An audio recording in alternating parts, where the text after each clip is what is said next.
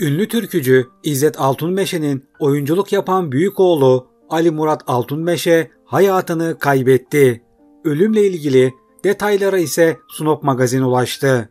İzzet Altunmeşe'nin oğulları Ali Murat ve Fırat Altunmeşe oyunculuk yapıyordu. Fırat Altunmeşe Mucize Doktor dizisiyle ünlenmişti.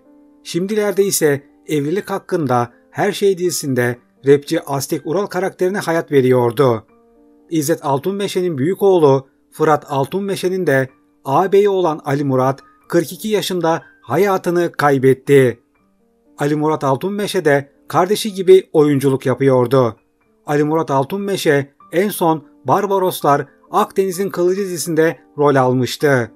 Ali Murat Altunmeşe, Ali Baba ve Yedi Cüceler adlı filmde de yer almıştı. Altunmeşe'nin ölüm nedenine Sunop magazin ulaştı. Altunmeşe ailesi hafta sonu Mersin'deki akrabalarına ziyarete gittiği öğrenildi.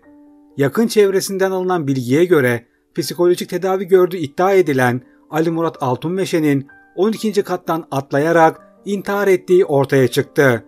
Ali Murat Altunmeşe'nin cenazesi salı günü Göktürk mezarlığında defnedilecektir.